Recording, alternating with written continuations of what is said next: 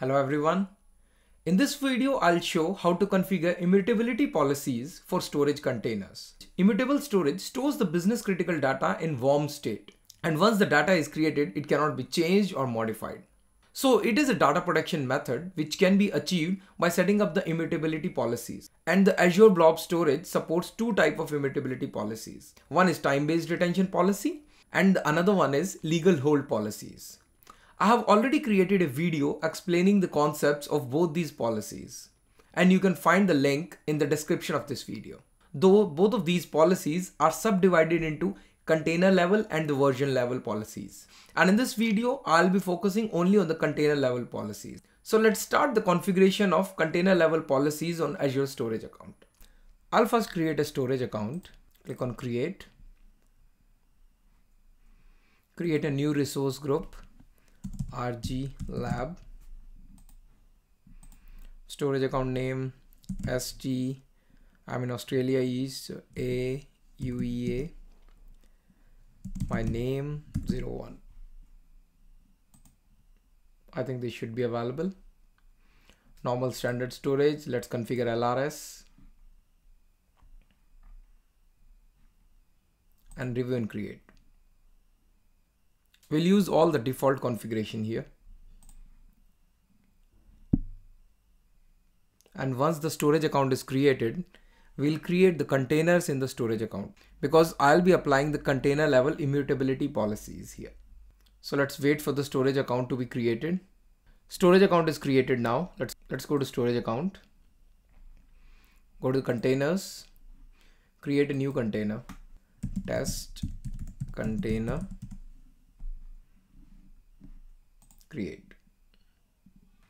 Now this container is created. Let's click on this container and in the settings, go to the access policies. Now you see stored access policies that is different, but we'll be focusing on immutable blob storage. So let's add a policy. And here in the policy type, there are two options, time-based retention and legal hold.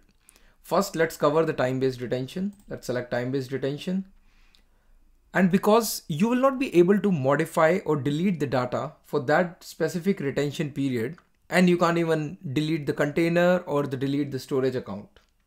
So in that case, I'll just set it up as one day.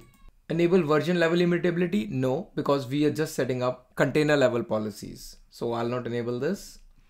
And now there are three options here. Allow protected append writes to none append blobs and block and append blobs.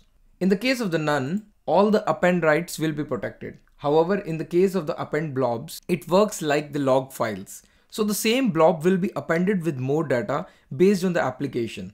If you have a certain application using the API where blob is appended once it's created in the blob storage, in that case you have to select this option. Otherwise your application will start failing. And the third one is block and append blob.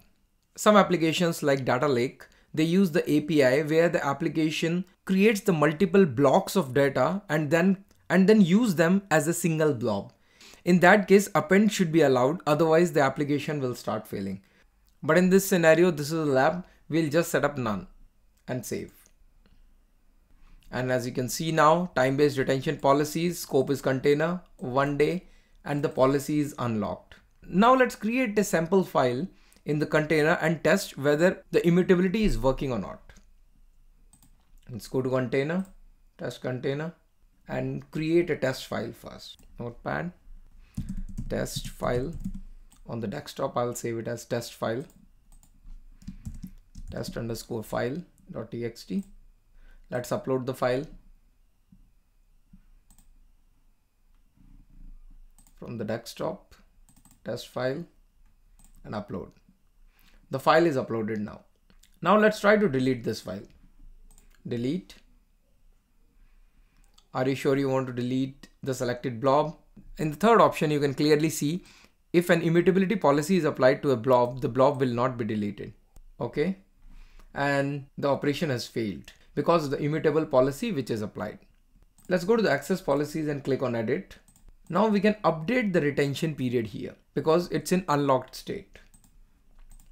So there are other option is lock policy, policy audit. which is just showing um, it's for one day. And the th last one is delete. So let's try to delete the unlock policy, whether we are able to delete the unlock policy or not. If we have created a retention based policy and it's in unlock state, we can delete the policy or change the retention of the policy too. Let's create the policy again quickly.